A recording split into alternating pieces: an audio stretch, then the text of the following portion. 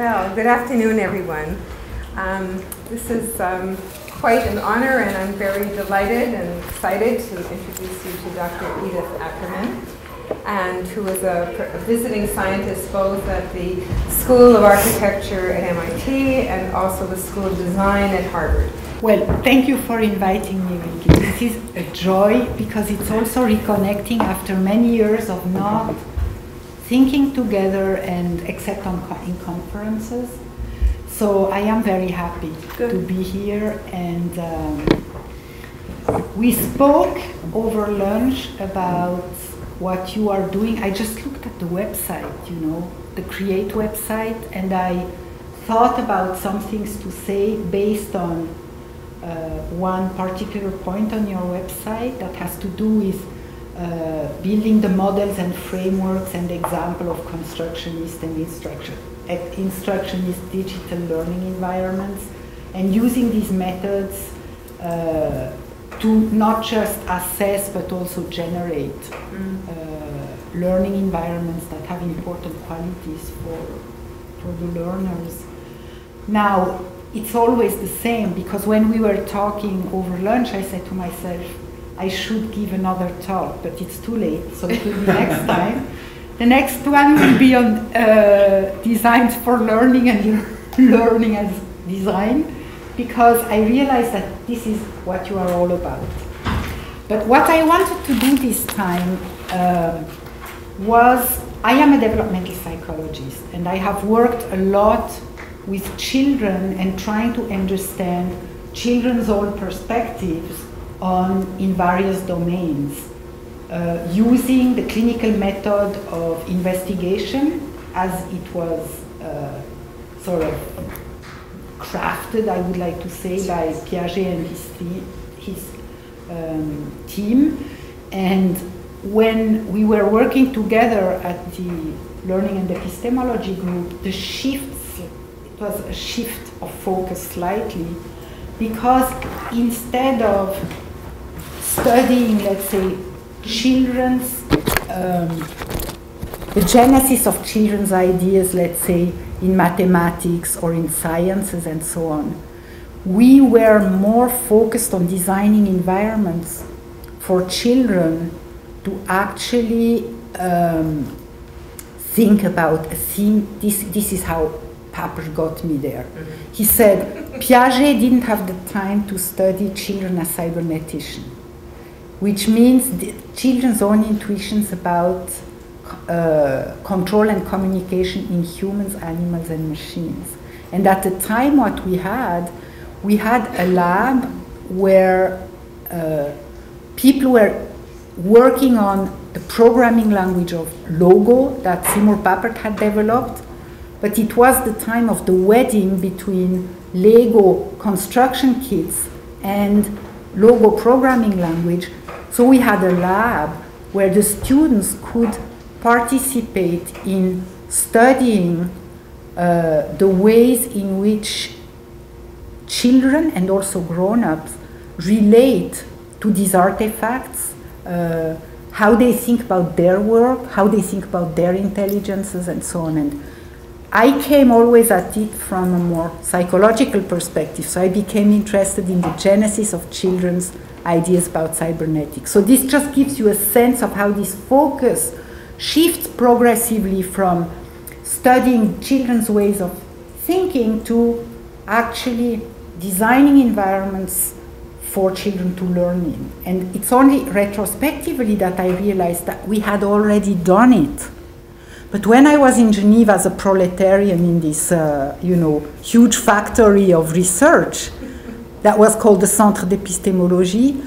Piaget gave a theme, and we had to design game like situations that allowed us to interest the child in some theme that was of interest to all these researchers that were the scientists that were sitting there, and to engage in a dialogue with children that hel- helps the child get an interesting journey through the phenomenon and us as researchers to get deep insights into children's ways of thinking.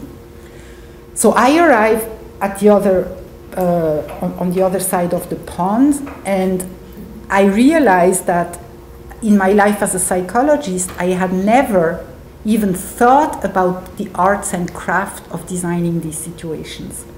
We were only focused on how you collect and interpret data.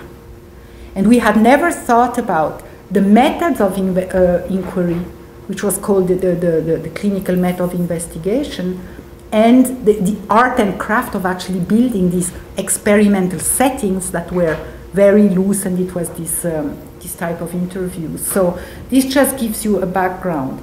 Now, what I want to talk about, in recent years, I have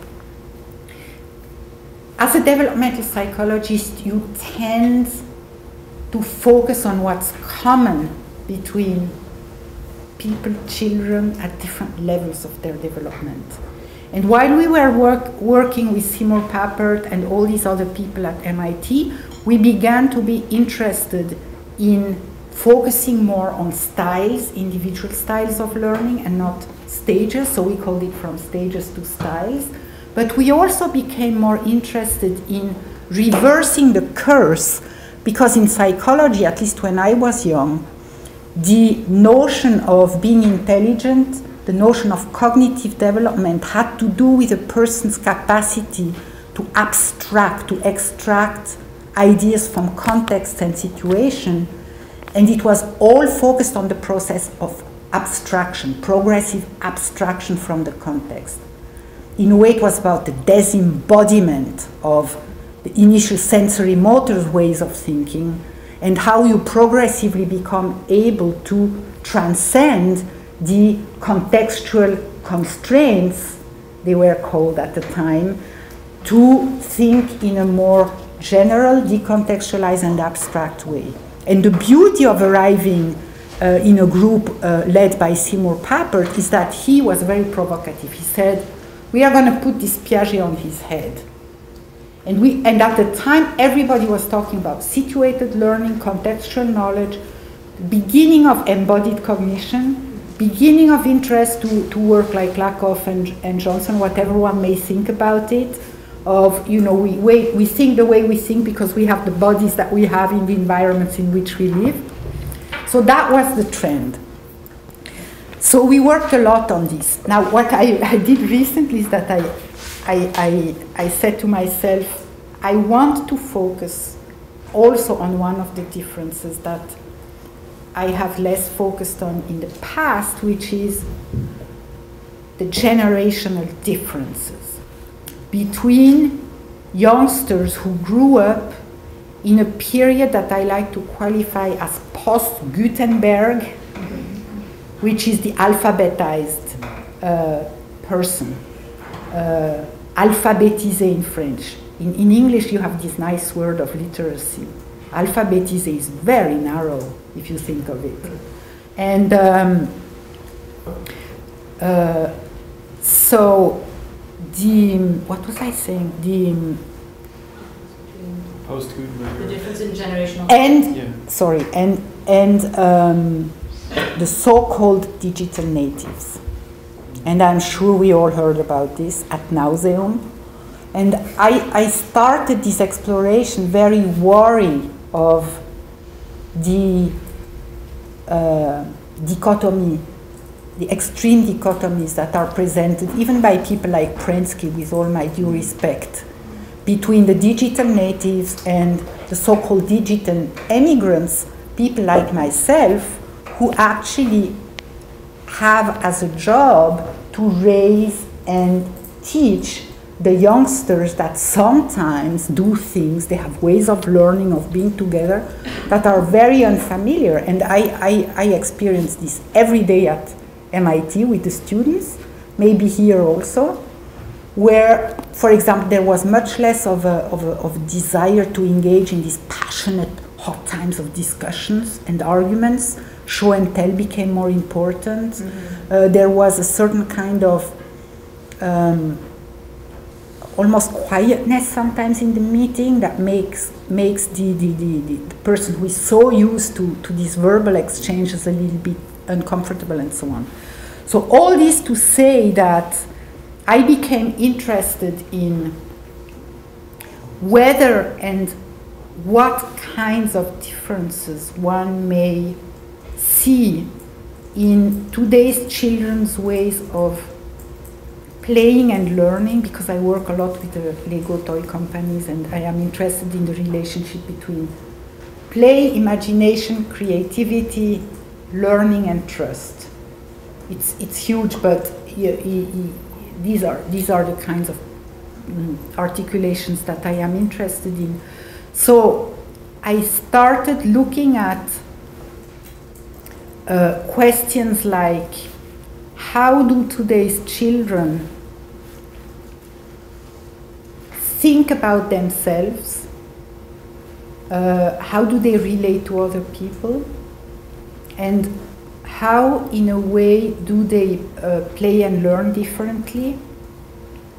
But also, what expectations do they have from each other and from the kinds of tools that they have at their avails? Because when the tools change, the, the, the the expectation change. Mm-hmm. And what I what I feel like doing here is just rushing you almost through the, the, the parameters that I have identified to talk about mm-hmm. these differences, but then to try to focus also maybe for the discussion on new forms of literacy, on what I call a culture of simulation, which has to do with different ways of thinking about dynamic modeling or representations of the world, and especially um, new forms of uh, hands-on activities, new, new rapport to things, and new ways of producing things, mm. of making. Because we have heard about hands-on culture since a long time, and it's nice to, to sort of refine these categories. So, um, here was my Oh, what I want to say just as a prelude, I, I, I never finish normally. The preludes, it's, it's you can, after you can do an hour. whatever you yeah. want for two hours. So, okay, that's nice. so, it doesn't matter. These are just like two uh, terms that we have heard a lot in the research that was uh, founded by the MacArthur Foundation. This notion of new media ecology is important because what it captures is that uh, people live and learn in environments that are hybrid, that are uh, where, where you find traditional tools and mediations and intersects and are augmented, intersect and are augmented by, and in some cases they, they, mirror or they invert their digital counterparts. So from book to Facebook, from online video games to GarageBand, uh, Kinect, from curriculum-based educational software, the whole gamut. Uh, by genres of enga uh, engagement, um, I, I, I, refer to the ways in which learners and their teachers, care caregiver, navigate, sort of stake also, inhabit and furbish these hybrid media environments. The way they move between uh, adoption, appropriation, and creative uses of what's at their avail. And there are two almost humoristic assumptions that I like to make. The first one is that no one ever lives in one real mode or channel alone. And the last people usually to discover this are people who do research on uses of technology.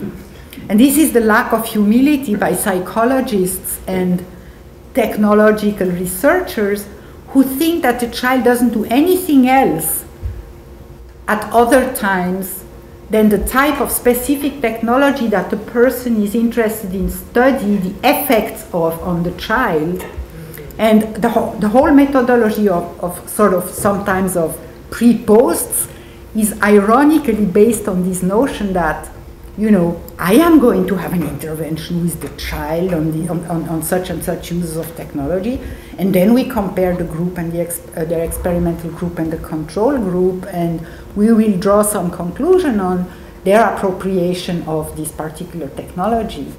And it is such an irony that the common sense notion that we all, even when we play games, we always do it in physical context. We like to have certain friends around ourselves. We interrupt our activities by other things. That usually the researcher doesn't see because it doesn't look in, in, in, in, the context over long periods of time, which is very difficult, and so on. So my first assumption is this: no one ever lives in one real mode channel. Uh, instead, we move between worlds, physical, virtual, and digital. And this is almost like relax. We have to relax because there is no panic. There is no more panic when kids play uh, on on video than when they read a book. And usually, that this was Seymour Papert, our mentor, used to say that the people who are most frenetic when you say, well, they don't use their body because they play, which is all true, but they wouldn't do the same criticism if a child would read a book. So it's, it's, it's sort of these kinds of consideration.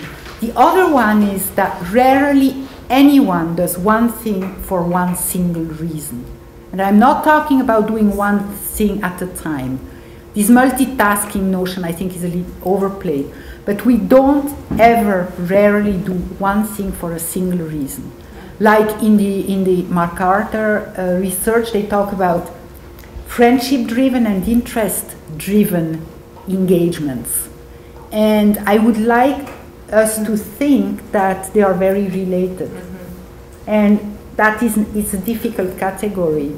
And also, we don't do one thing for one reason, but we don't stay at the, at the same level of engagement over time.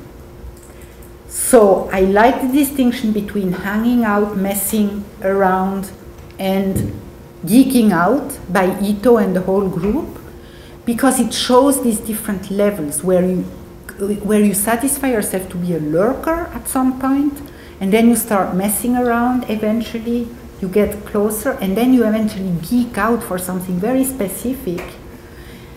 But even my friends at the exploratorium who studied the ways in which the visitors at the museum engage some of the amazing sort of interactive, not in the technological sense, but exhibits that they propose, and they are, they are just remarkable.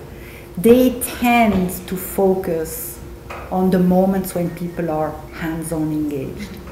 And we usually don't have the time to follow people and to also, uh, let's say, honor the moments when somebody is in the lurker phase, when somebody is in the phase where they just want to take a moment to contemplate, where they maybe revisit or reenact something.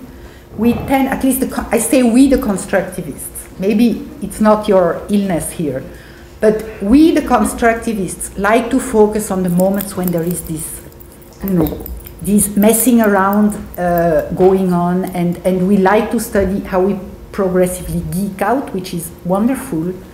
Um, but there are all these moments, I think, in the process of self directed learning that are equally important.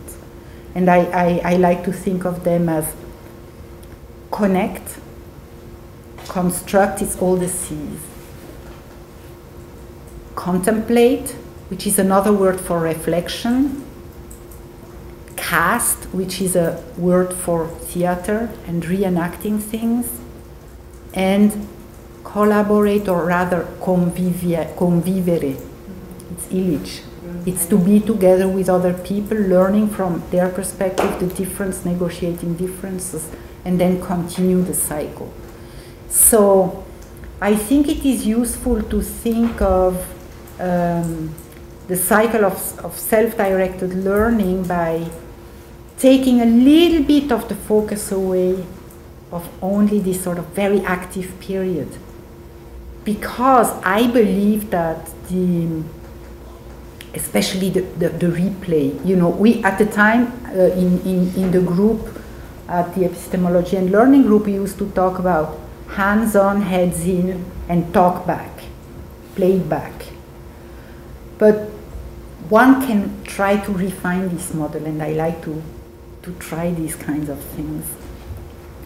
So, um,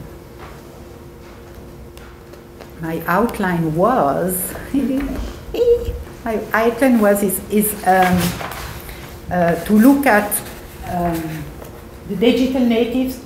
I can send you this uh, if you like because I have also text written with it, so it can be like a little booklet, and then if we are interested, we can pursue some of these conversations if, if it resonates with what we are doing.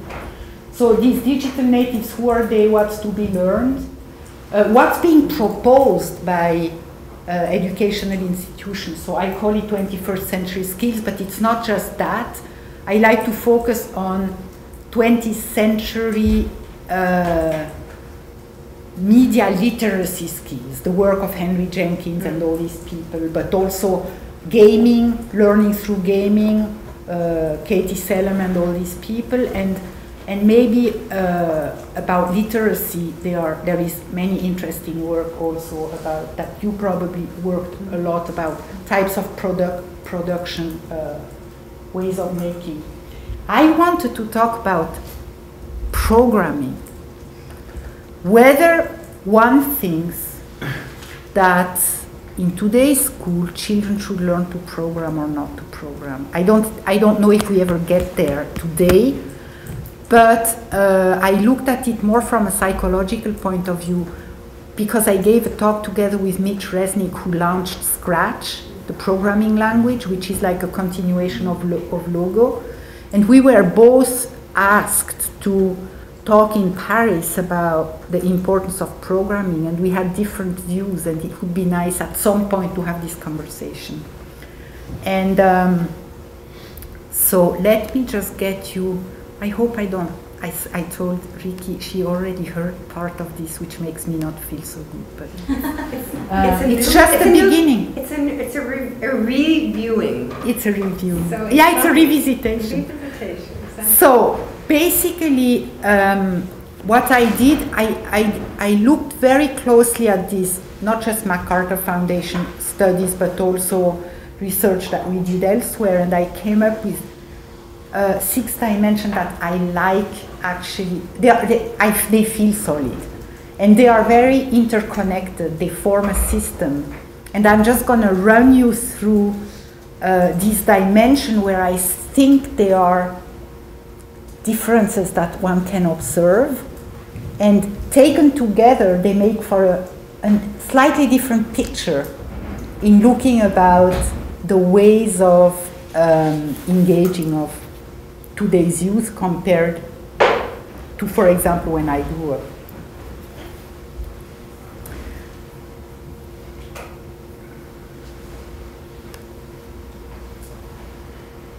The first, the first one uh, has to do with the notion of a, a, a more fluid identity, a fluid self and plural identity.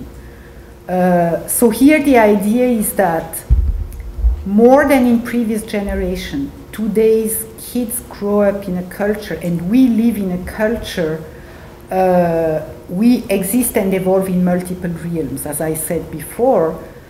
So the sense of self is at once more fluid and more distributed.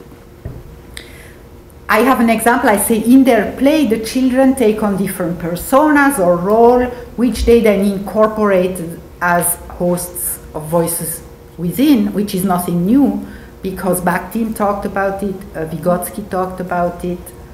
Um, but what is different is that in digital media you can wear several hats at once. And you can simultaneously explore different aspects of self in varying contexts that are often shielded from one another, and in each you will be taken at face value. This is a huge difference. It's bizarre.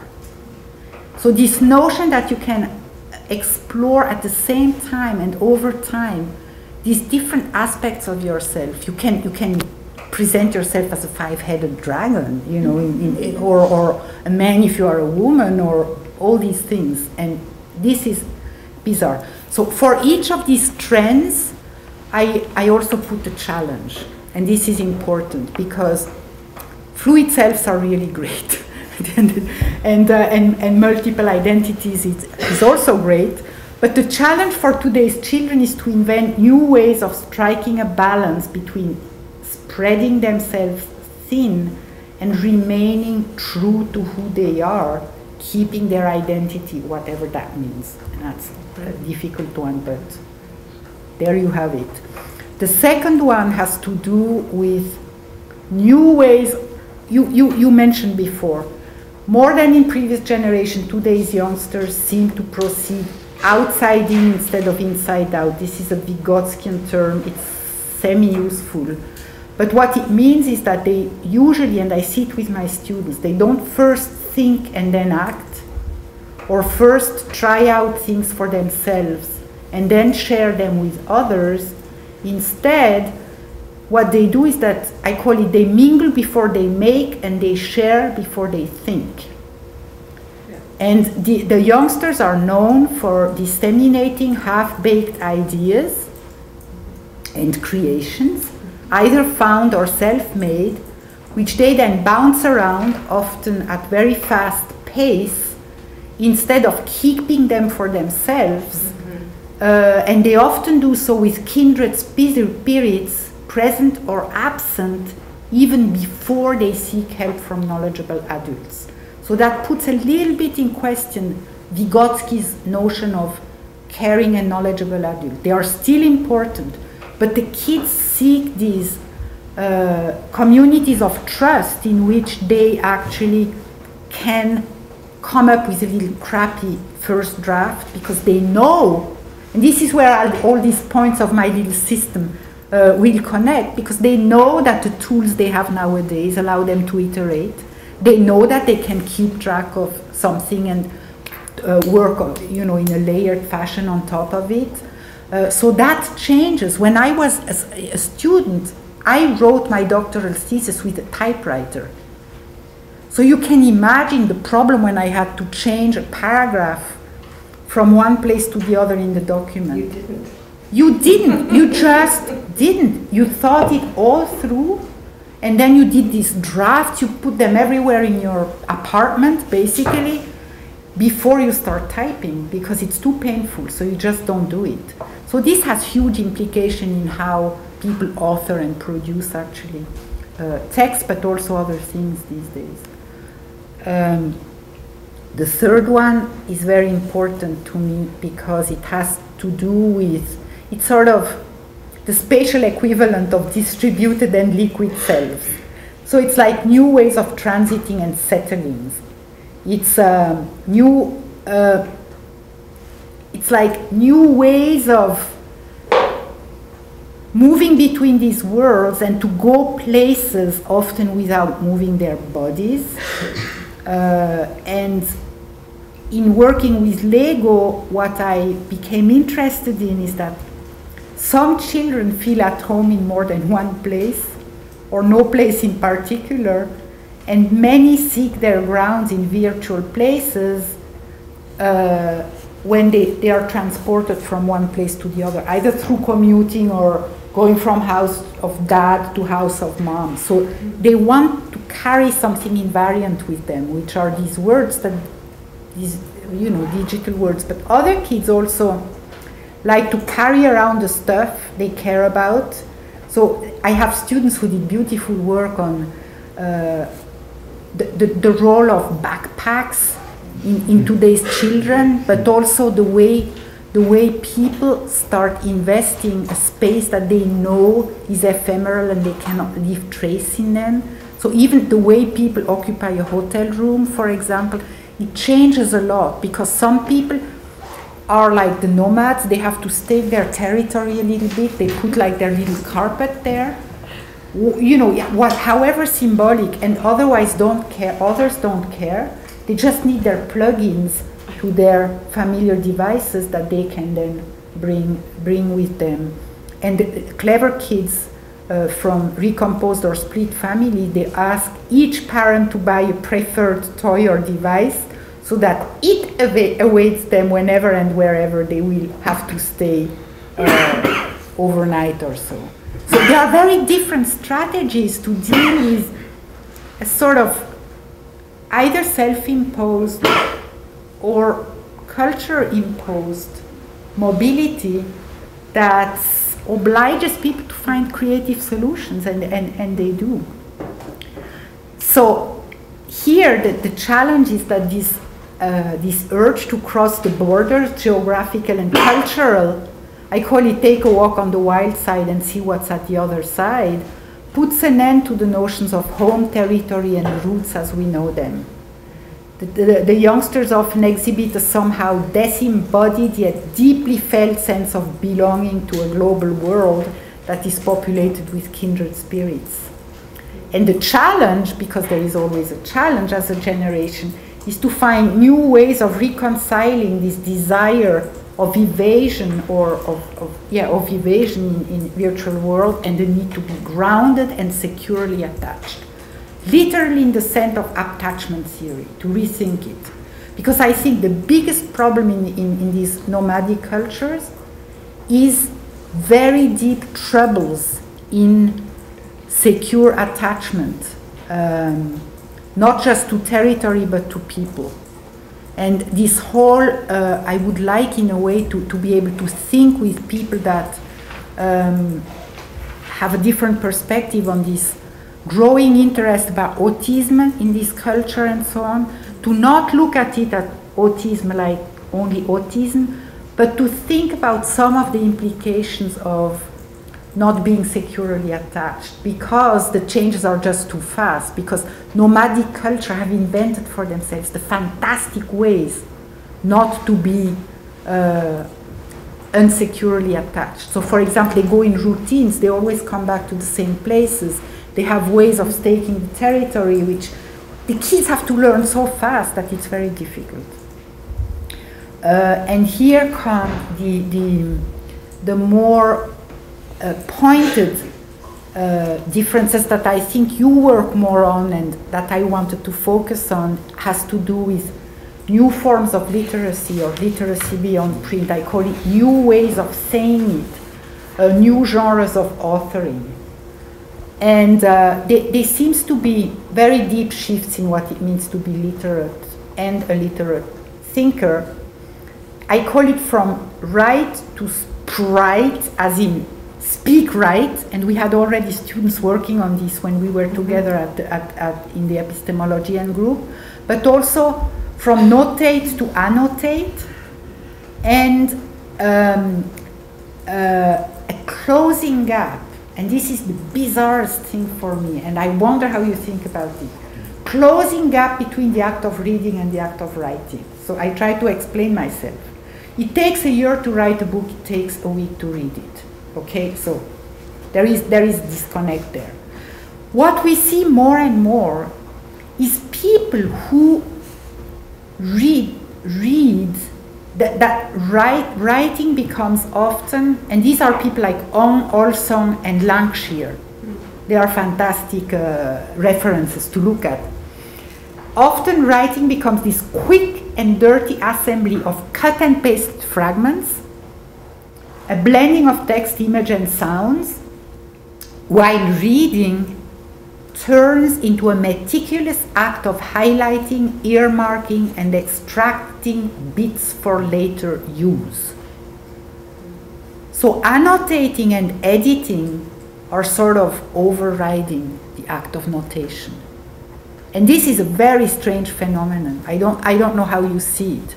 But they meet in this quick way of uh, writing as assembly and this slower way of reading because you always, as soon as you read something, you think of addressees, you think of who inspires you, you act like the digital natives that like to immediately pass on half baked ideas, and then it comes around and you can together reiterate.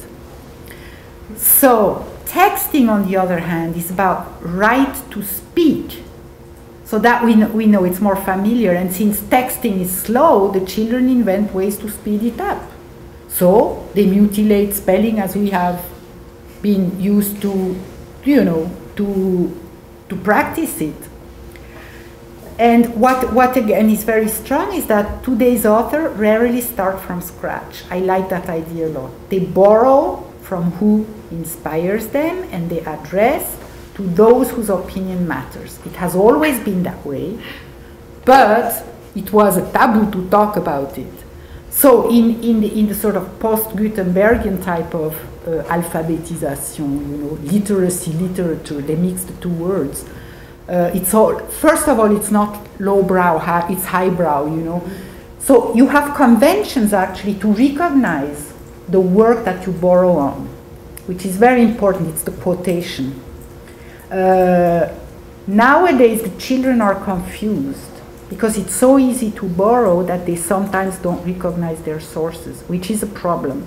And the biggest problem among educators today is to come to grips. They, they sort of reconfigure, repurpose, remix incomes to actually leave their marks on it so that it takes on their signature. This is a topic that I could speak for hours about because I think that it's a big problem for educators today to come to grips with what they view as plagiarism, and it's a serious question. Students' tendency to pick up and pass on ready made imports that have not been massaged long enough or mindfully engaged, and it's huge. On the other hand, I think that a huge work can be done in giving conditions and designing situations where the child who receives these bits and reconfigures them very quickly to pass it along actually are given the opportunity of not being seen only as information brokers. They take this information that comes in raw, but especially be given the time to massage and remassage and revisit and rechange these inputs until they are almost like a varnish, you know, until they are molded to actually become your own. So I am dreaming of situations like, uh, I think they do exercises like this in cinema, where different students would receive, let's say, a scenario, and every student does uh, a sort of filmic version of it. I, I dream of a situation where everybody starts from the same text. So text. And then you are just offered to rewrite this text as you layering, almost like on Wikipedia, where you just, when it resonates with something that is very yours, you transform it to transform it, and you go through this even alone, not in group, alone, it's important, for a long time, and then you show the text of different people, and they would be totally different texts. So that's another way of thinking about authorship. But the conditions for it to become yours are very precise and they have to be respected. And they can never be respected in education because it takes time. And that's, mm. that's the biggest problem. It takes time. So it's a different way of taking the time to authoring and writing than what we learned when we were young but it still takes time to massage something long enough until it becomes yours. So that's a huge one.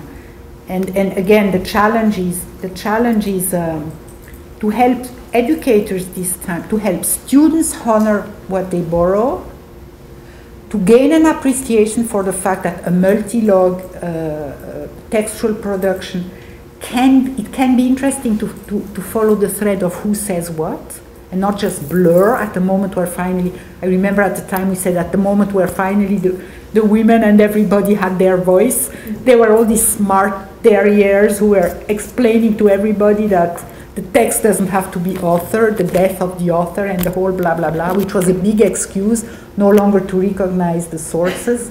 So this is a huge problem, but I think it can be addressed in interesting ways.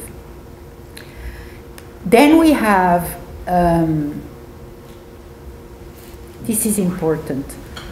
Um, I think we are moving from a culture of notation or description to a culture of simulate, simuling, simuling, not simulating. Because simulating has this notion that you are mimicking something that exists in the real world. So, for example, uh, a professional flight simulator. I'm thinking simulating more in the sense of creating a, a micro world in the sense of Seymour Papert, namely an, an interactive environment in which you can dwell and discover things, but that precisely have different qualities than the ones that you can explore directly in the real world. So, um, Yes. So today's kids expect the tools they use to provide immediate feedback and more important to let them undo previous moves to recover Mm-hmm. uh, and keep track of what they are doing to revisit. There we are again. And I call it the, this good enough mother quality of digital tools that are attentive, responsive, and for, for, forgiving does breed a culture of iteration. It gives the courage to try again, build on top of playful exploration, go for it, no move is fatal, uh, in ways that pre- digital tools hardly could. It also has, it's a trade off because these tools are very good if you just layer on top of one another, but if you have a divergence at some point, even on Wikipedia, they send you somewhere else to negotiate your differences and then you come back. You go in the little room where people are punished for having different views, right? and, then, and, and, and, then you layer again. So this is also a problem. Um, and Baudrillard has written a lot about these things, but I'm going to pass on it. And, and, and this one is the one that I have been working mostly on is with people at the Exploratorium Science Museum, but also with designers and so on, is this rethinking this notion of hands-on activities. Because, you know, you find a hundred versions of it, from the teacher who just instructs to say, now try this, but it's a little demo that is totally uh, sort of pre-anticipated. It's almost like canned, canned little moment of exploration, versus actually a more design, uh, designerly approach.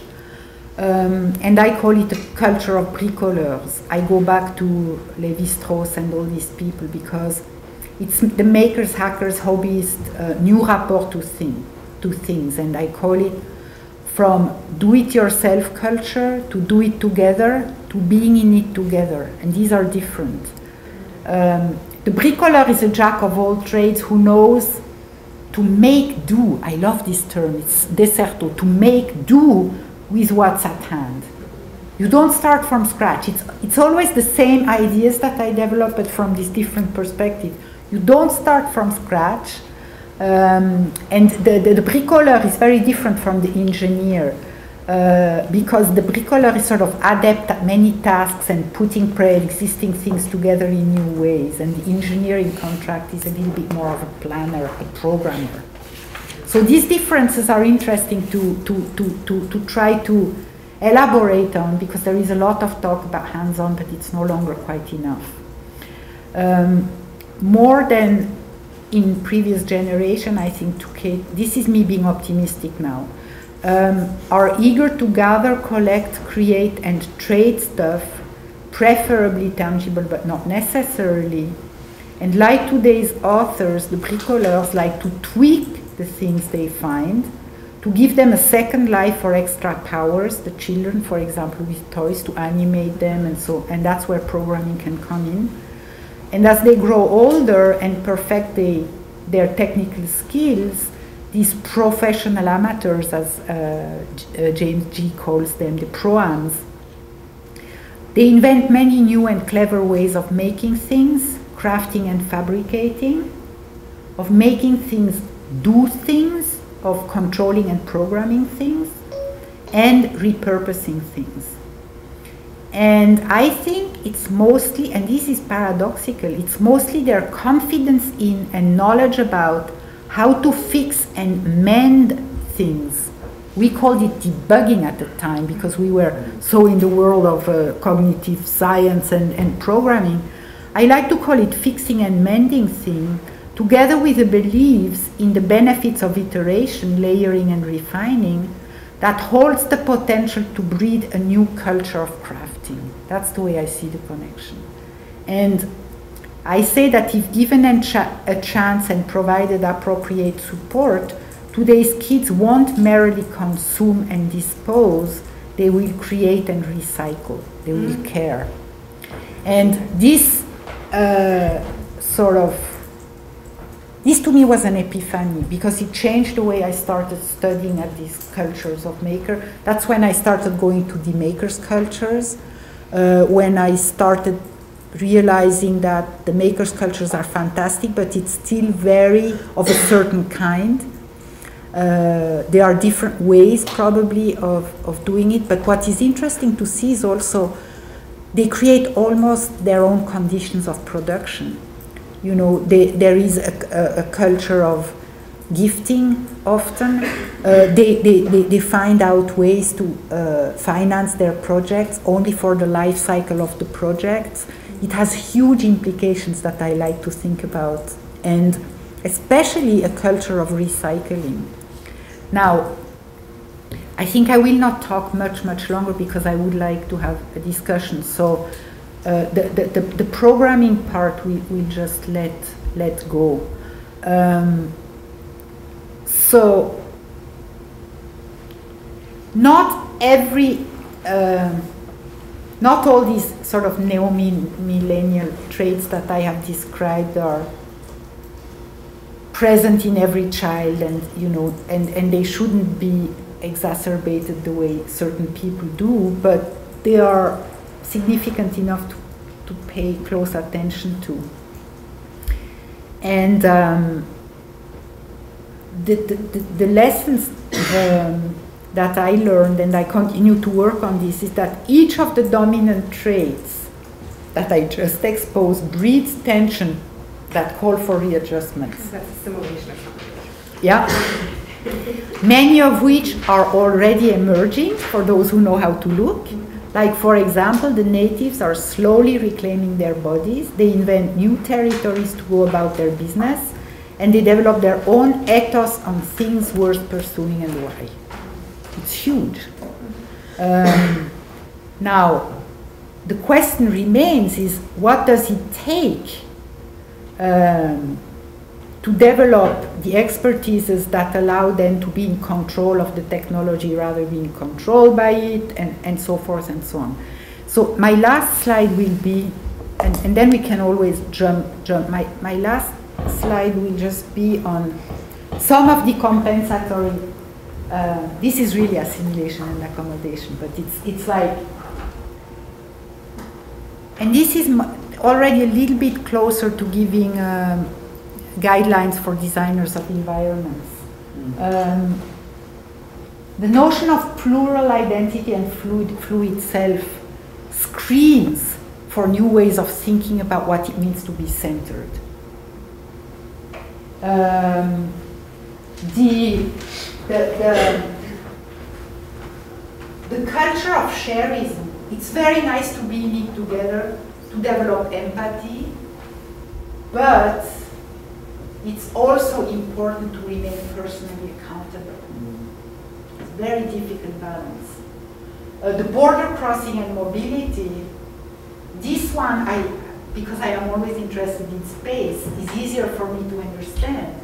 There is a cost to being a nomad. There is a cost of being a nomad that um, uh, what's her name? I, I blank out her name, the beautiful book of Strangers to Ourselves. Um, it's, it's, a book called Strangers to Ourselves, which talks about the kinds of things that you need to let go if you move from place to place. You need to lose your memory. Mm-hmm. Uh, you need you need to, to completely eliminate parts of you know your your experience uh, you, you, you, become stranger in a way to yourself in a way. I, the name will come back to me because the introduction of this book is just great. Uh, she's the wife of Sollers and she's Romanian. Kristeva. Yes, Julia Kristeva. Oh, thank you. Thank you. Um, this one is, yes, how to be grounded, rooted, and anchored. And I think it's worthwhile studying different groups and people who are unrooted in certain ways and try to look very carefully be, be, be, before even giving advice to them. Just look at how clever they are to find their groundings, you know, but also how, how can you support that um, uh, if you're an educator. This one, uh, I like this notion of Malaguzzi from the um, yeah, from the Reggio Emilia schools that Bruner actually endorsed a great deal about the 100 languages of children. So at the time when they developed this book, there was not yet many uh, digital technologies, But the underlying theory is a very nice framework to think about how in today's world the children also, when they are little, like to speak in a hundred languages, make hybrids between images, text, and, and, and I mean, for heaven's sake, their role model is us doing PowerPoints like this, so I shouldn't they do it? But at the same time, here the trade-off is that once you have done this for a while, it's lovely also to remain um, loyal to the types of constraints that given media require and not just to jump. So for example, if Wim Wenders is such a great filmmaker, is that he pushed in the world of uh, visual images and, and if, uh, if, if um, what's his name? somebody teaches poetry to children, it's, it's nice to jump between situations where you let them jump between the media and respect sort of almost like the integrity of, of a certain medium. So that's a hard balance also.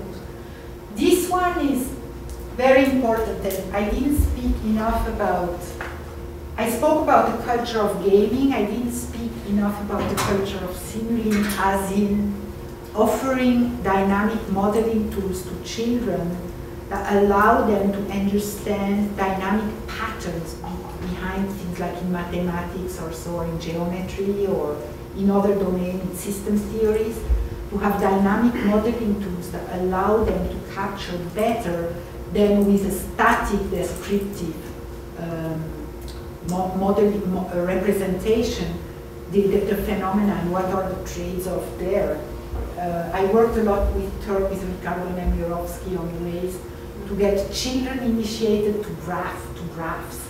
Because sometimes the graphs are built to facilitate their understanding, let's say, of the relationship between distance, speed, and, and, and, uh, and time.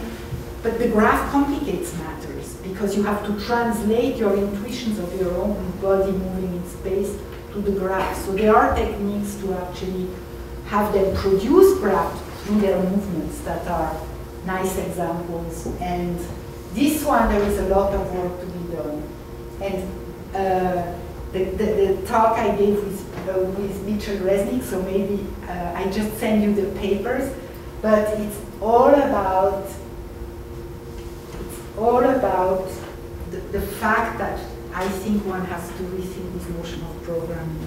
I think it would be absurd to ask children to just learn to program in the way that we even uh, advocated it in the 80s because the act of programming and the ways in which now people can even control uh, elements like in their authoring tools and so on, they merge in certain ways. So one aspect of programming has to do with giving instructions to something, you know, uh, which is sort of the classic definition. Another one has to do with actually uh, amusing oneself with the autonomy that the thing that you program takes.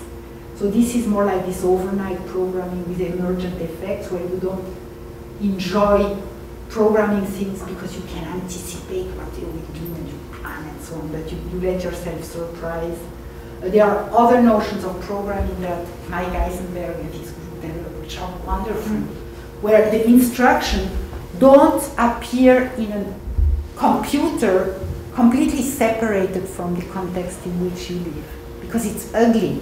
And this is the only word I have to say. No judgment, it's ugly. so if you are interested in bringing elements of uh, choreographing, let's say, your space and the movement of artifacts in a space, you need to think differently. And there are gorgeous examples by uh, Mike Eisenberg where they, it's, it's not like in Mindstorms where you program this creature, you know, like in a planning way, but it's just a reader of barcodes and you put the barcodes in the environment.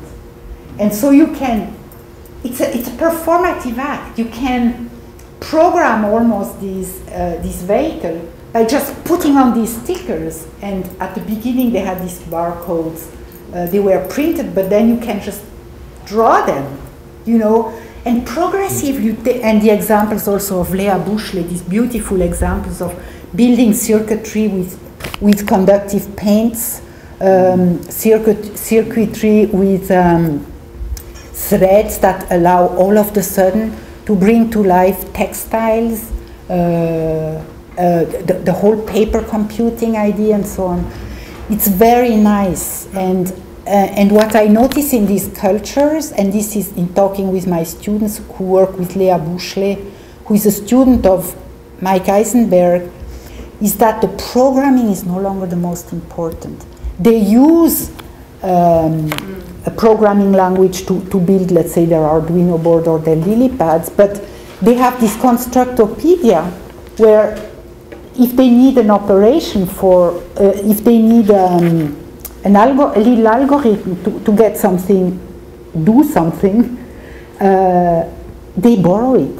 Like we find some children who said, you are a hacker, can you write the code for me on this? That you are doing, that would be great. Thank you so much.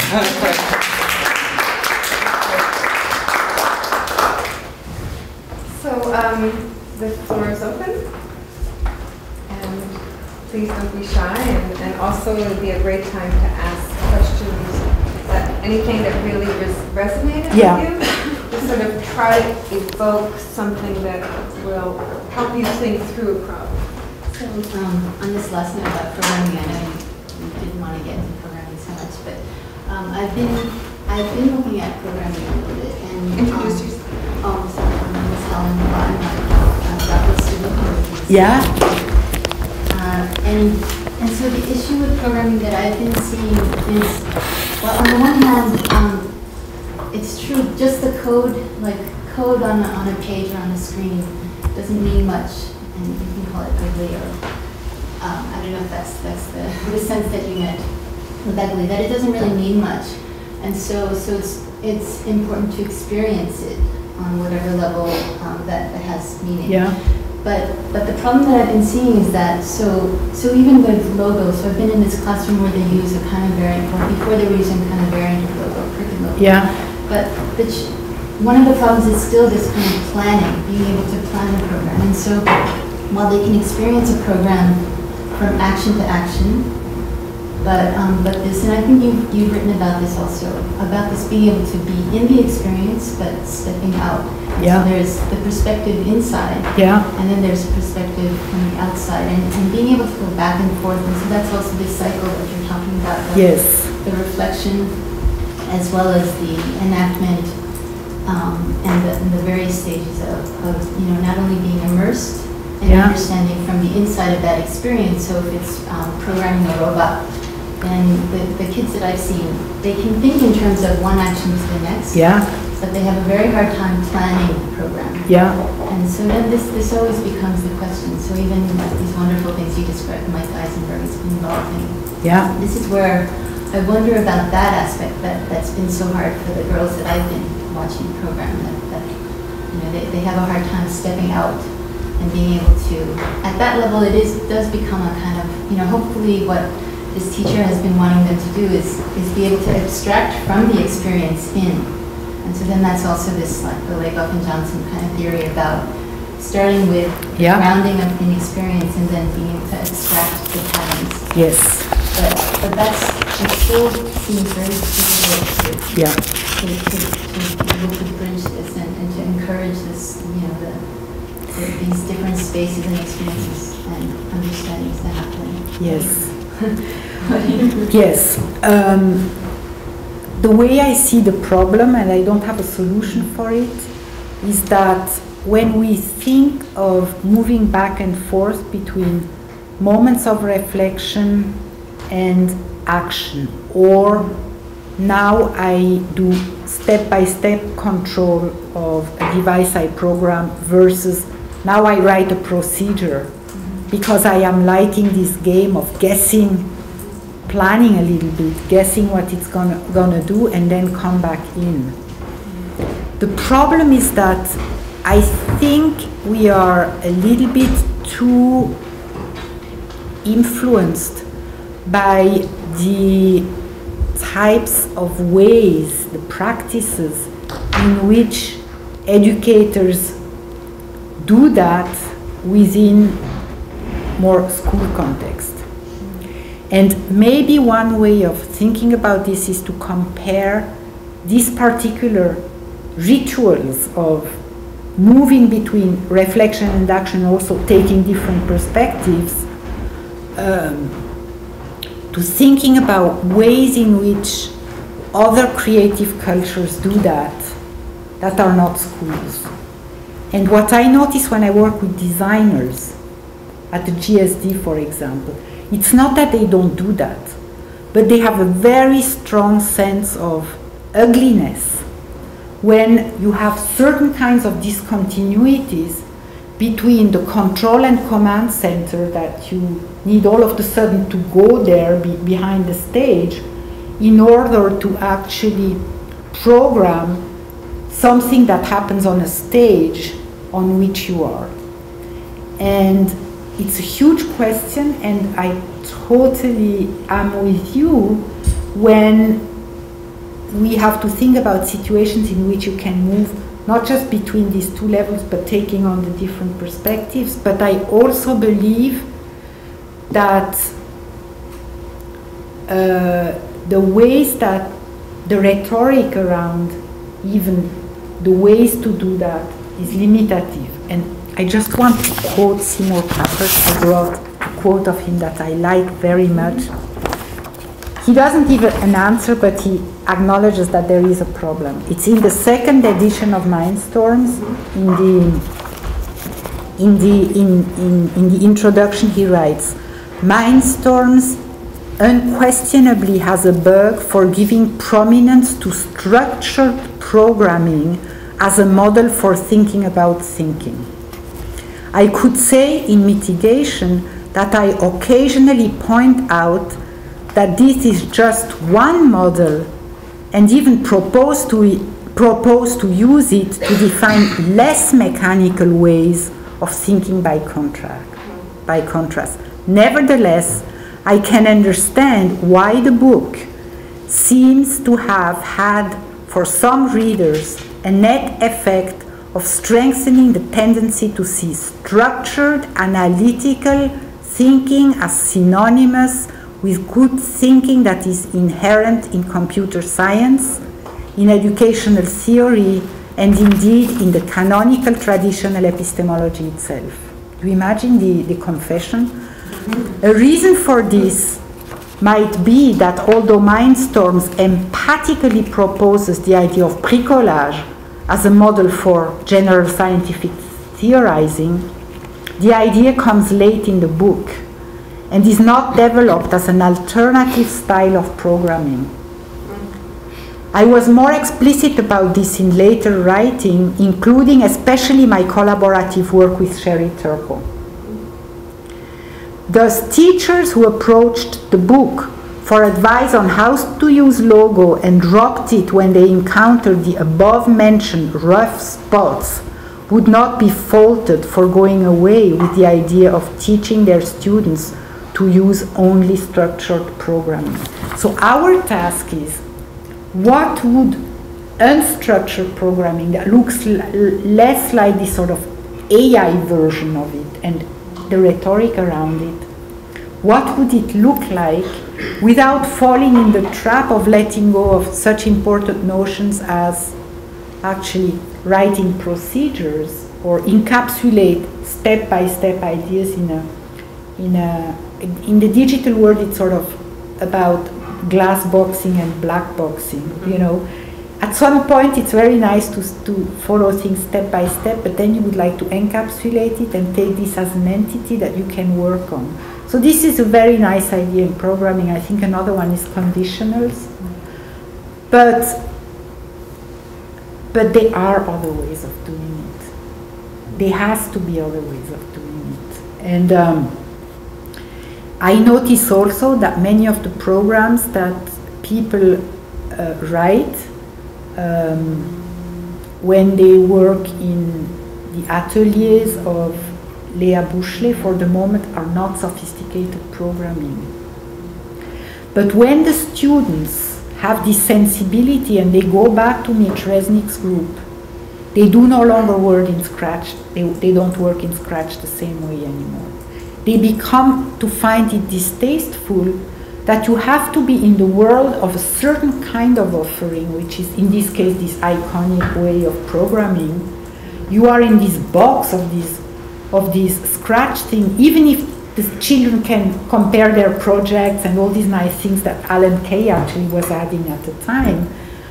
Um, some students who have developed this designerly sensibility, they come up with these amazing projects. And one is Jay Silver. He's a complete nut, but he does these beautiful projects where, for example, you can, and this is the Mike Eisenberg sensibility, where, for example, uh, you can just translate on a, on a small um, uh, uh, iPod when, when the child enters uh, certain colors. Um, you know, you, you, you, you can tap in some colors, it recognizes you do the colors, they actually transform into sounds. So you can do things like just do a gesture, change colors, and uh, it, it records so you can sing. You can sing Au clair de la lune, mon ami Pierrot. And then when you, when you actually um, go back to it, it sings that. But if you, for example, do do, re, mi, fa, sol, you create a musical instrument. But it uses gesture, it uses, you know, these kinds of um, very different input and output devices. So you're saying that at the level of being able to, to see a pattern, then, then that's where, then that's, that's this different level of programming yes. designing. Yeah. So because you can. I think that the material, thinking in a more designerly way about the types of input output devices, uh, paying careful attention to certain rules of discontinuity and continuity between context and, and controlling the context is huge. It's, it's huge. I, I don't have solutions. I, I just notice that when I work with different people who come from these different cultures, even the MIT geeks, in a class uh, at, at, the GSD where they have more designerly sensibility, they just come up with projects that feel so differently. And those different fields of the project, even if it does the same in term, conceptually in terms of programming, it will attract people that normally are not attracted by programming. So it's very important, I think, to, to think about these questions. Well, that actually brings up something that I was interested in, which is understanding values and artifacts and systems and how learners, children, you know, anyone can be affected by those yeah. systems and artifacts. And what are what are your thoughts about that and about getting children to start thinking about the values yeah. as integrated in design yeah. and how that may affect who's who's actually part of that community, who's actually participating. Do you have that? Yes, it's. Uh, I am just starting with all this, but um, in looking at different types of maker cultures, you really begin to see that they have very, they emerge like they have different ethos, really. They have different um, value systems that drive their engagements and, and ways of working together. Um, and I think that it is a long time that in education people are aware that values and knowledge need to be brought together more. But when I think about just the different ways in which we called the, if you are old enough like myself, you went through, I look at you, because you are a bit older than these people. It's like, it was called um, information society. And then it was called knowledge society. And then it was called creative society. And then it was called experiential society.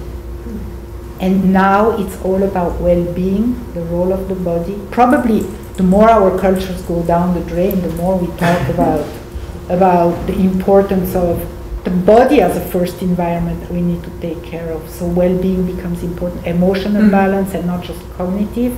And last but not least, questions of ethics. Going to become huge. I'm, I, I don't know how they're going to call it, the next trend, but it's going to be about ethos. And it's not new, but what I find interesting is how differently they are weighed, these things.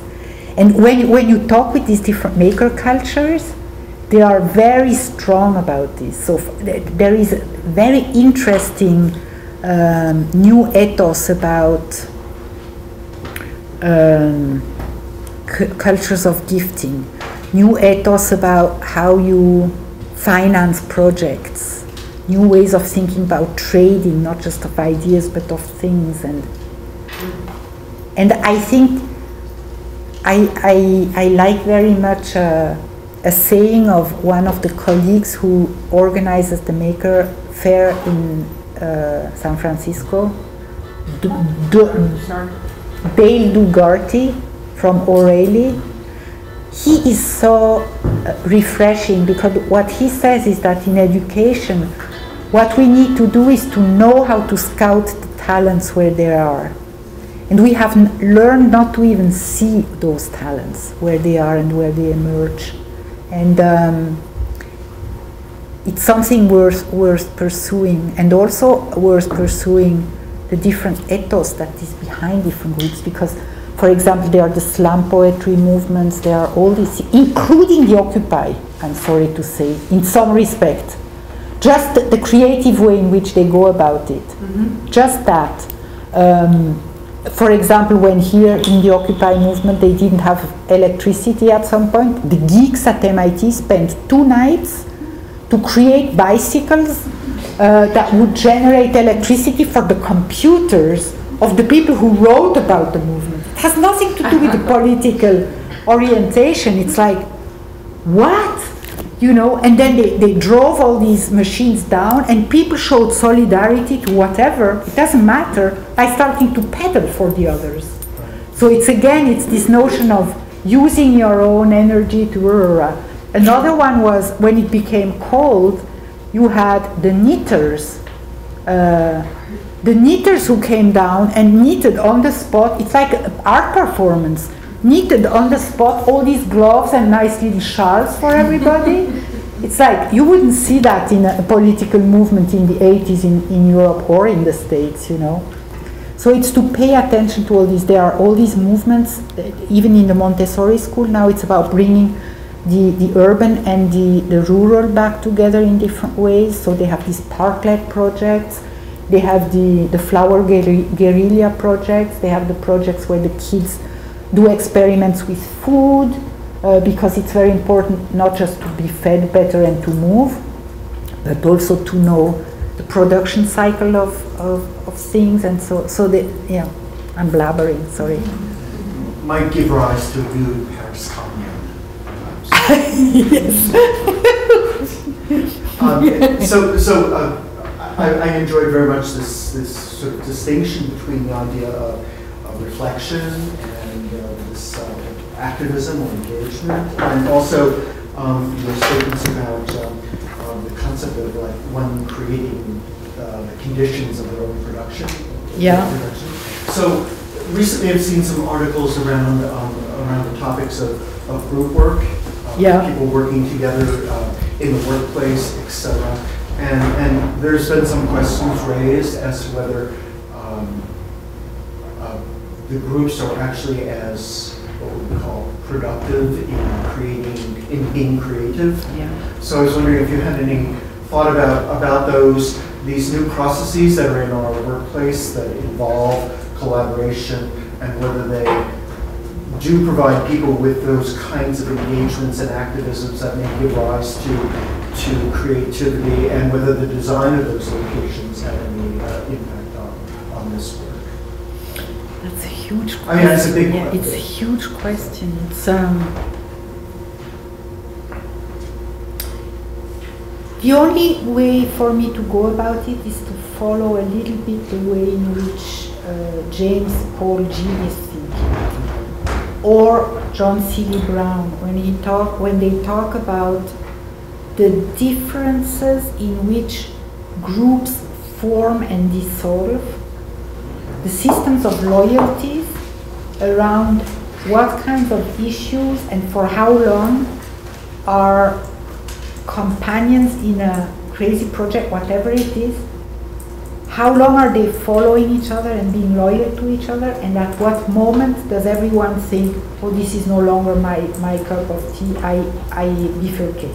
Mm-hmm. And uh, I don't know if there exist good models to make these differences, but this is a way to get at these questions.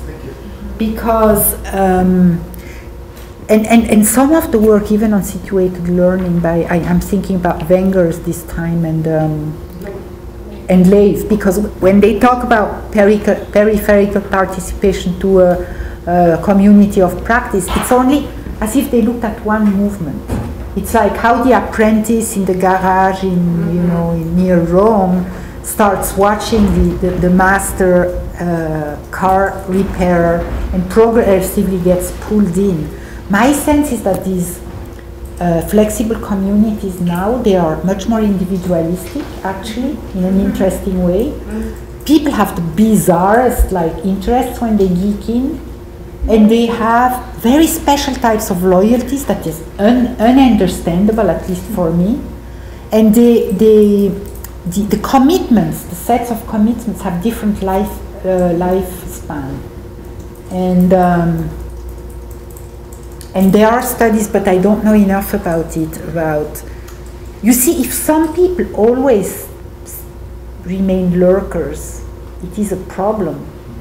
So I don't know how to capture over time these engagements, disengagements, and these loyalties. I can only call them loyalties. Also mm. commitment.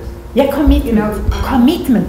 Because that's a problem in, in some of these cultures is that they have not figured out yet for themselves rules of commitment and loyalties that are actually evolutionary stable strategies for themselves. The changes happen so fast that people don't have time to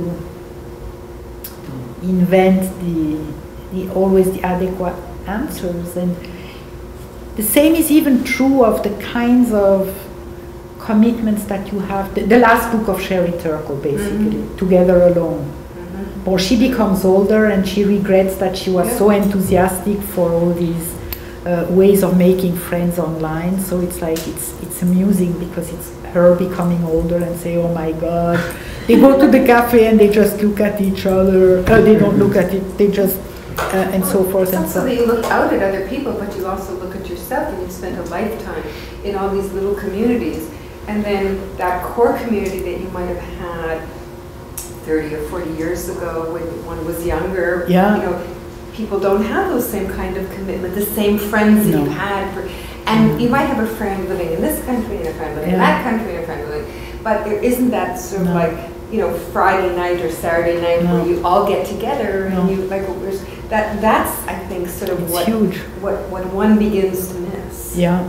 And one wonders if you know, young people, and I mean even children, but I also mean, you know, you guys, you know, growing up, like becoming, like, you know, older or whatever one day. But if, if you miss those kinds of events where, other than Thanksgiving, where you spend just time with a whole bunch of people probably that you don't even like anymore, mm-hmm. but, but what happens to that sense of long-term committed communities that are not just designed for that moment, you know, mm-hmm. for that for that sort of like purpose, that mm-hmm. intention to yeah. get a doctorate or about that intention for this.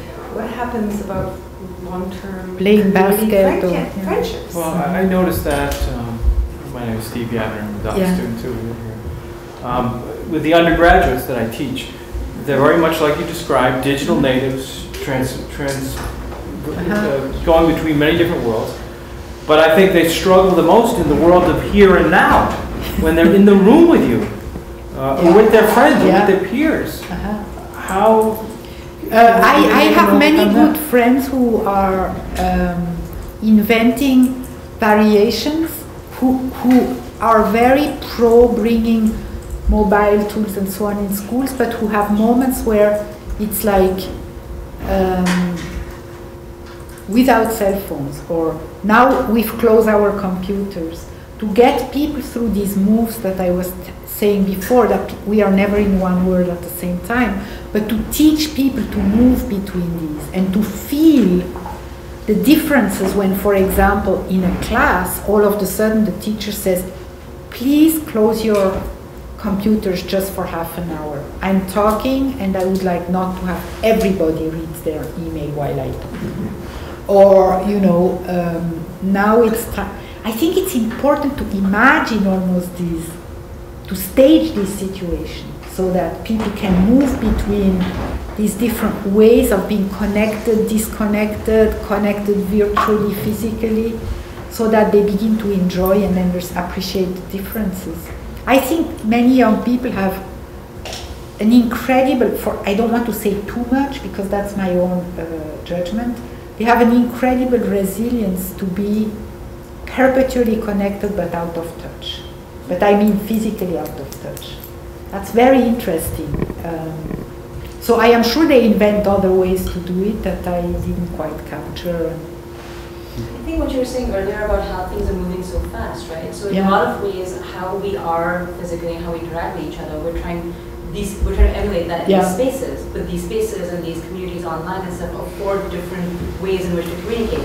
And I think at some level, we find a balance because Yeah. I'm someone who engages very s- with multiple different communities online a lot. Yeah. And it's kind of what I'm thinking of researching. I'm I'm not Sarah. thinking about it. I am researching it, sorry. Yeah. Um, I'm Sarah, and I'm Yeah. Ricky's doctor, doctor student. Um, what was interesting to me, I mean, that was like, I Yeah. just wanted to add that for this. I think we're Yeah. finding, we find a balance eventually. Yeah. I think both are important, and I know that personally when I go meet my family, I do have arguments with them, and they're just like, can you put that down? You know, can you just hang out with Yeah. us? You know, I get it. Yeah. There's a different Yeah. quality to that interaction. Um, what was interesting to me about what you said earlier was about um, you used a term called information brokers. Yeah. And it was a, it came out a little earlier, and I think um, a lot of what people think about now, and this this is also to your point about new digital literacies, which is the role of curator, right? That's Yeah. become a new kind of Exactly. way to look at things, where you Very have nice. Yeah. you have so Yeah. many information Yes. things and how to learn how to curate this Yeah. information and either and what to do with it beyond that, right? So Yeah. you have people who do just the curation, put it out there for us to consume. But we trust in their skill and ability to Yeah. create a certain kind of information, a certain quality of stuff, which would be useful to us. Yeah. So there's an interesting way in which that, that information broker thing is turning into a skill. Yeah. But how we teach that skill and what to do with it beyond, I think it's still important to have the deep thought about it, but looking at a collection of things and then taking that time to kind of reflect on it would be useful too. So kind of combining what you were saying about, you know, we don't spend time thinking about things. and Yeah. kind of letting it, you know, Yeah. reflecting on it, letting it kind of grow inside us before we kind of talk about it. Yeah. And I'm completely, like, I do that. Like, I'm guilty of doing that a lot. But there are times when I have the time to sit and think. Yeah. And my thought process, I notice that it's different, right? Yeah. What I talk, when I talk about it later, it is different. Yeah, yeah. I really do like this. I, I never thought about it quite this way. You know, we used to say that the teacher is no longer the sage on the stage like I did, mm-hmm. but the guide on the side. But maybe this notion of curator, even for educators, uh, is, is an interesting one because, yeah, or choreographer, or uh, to imagine these scenarios. Um, teachers has, have always done that, but they, they take on a different, they have to be reinvented slightly, you know. Um, I learned with Bill Porter, an architect, I was giving a class on Introduction to Design Inquiry. I learned that the students don't like to argue verbally, so we, we invented ways, especially it was a class about design, where we would oh, think so hard about what task to give, but then they would actually do show and tells. And as soon as they had everybody's project online, they would just go and talk about it because they were more in the role of almost like a, a jury in an art school. And, and they helped each other in incredible ways and starting always from what the person had produced. It's different rituals of um, And we, I, yeah, I don't quite know, but with, with the technology, I think it's the same. It's, you know, Sherry Turkle. I remember when I was young, I was married with a Brazilian, and we used to go to the cafe in uh, in uh, Geneva. He he was not looking the whole time at his. He had a newspaper between him and me, and would look at the girls that come into the restaurant. so I don't know if it was much better, because I couldn't even see him. I just saw the sports. you know, At least it didn't beep at you all the time. Yeah. you know. Or didn't, the phone didn't ring and the person on the phone is always more important than the person you're with, you know, so. that's yeah, there is trade-offs. So I'd really like you to talk about the work that you're doing a bit Yeah. more. So if there's someone else who has some. Yeah, it would be nice to uh, no, no longer just questions, but to, to get a feel for what you are doing and maybe what are the hardest questions that come up. Could be your video project that you want to do with the poets, But, or the digital storytelling. the digital storytelling. Tell me about it. So I've, I've been working in digital storytelling um, from a, sort of from a, a personal perspective. Yeah. uh, To help people develop uh, or think about their identities Mhm. and develop a bit of agency. Yeah. And at the very beginning. So that process, and I, I sort of think of this in terms for today's world, in terms of time and information, and that seems to be what's out of balance. So that the digital storytelling in many ways actually slows everyone down, or the, the process slows everyone down to reflect upon their lives. And um, sometimes it's just a focus on an experience, but it's an experience that sort of changed their viewpoint or changed the way in which they think about themselves. And it's to, to gather um, their artifacts, their personal artifacts, and create a story that's very, very um, abbreviated. It's, to, you know, to squeeze out the essence of, of life or, or that life's experience. And, but it does require time. It's hours and hours of, of time and, and, you know, it's, it seemed in, in what I've, in the stories that have been produced, they're very, it's very worthwhile. But how many of us have that time to do that? So, you know, the question Yeah. is creating learning environments Yeah. where, as you said, you allow Yeah. time. Slowness. It's like slow cook. Yeah. Slow cook. Yeah. So the other idea I had is that Edith could stay here for a few minutes and some of you that have to go, because it is close to four, could get on with what you need to do if you're committed. And if anybody wants to talk one-to-one, that's also nice, and they'll have to say something to to the whole group. That would be lovely too. So why don't we do that, and then Edith and Chris will go off and have their talk. Thank you. So thank you. Right, thank you. Uh, thank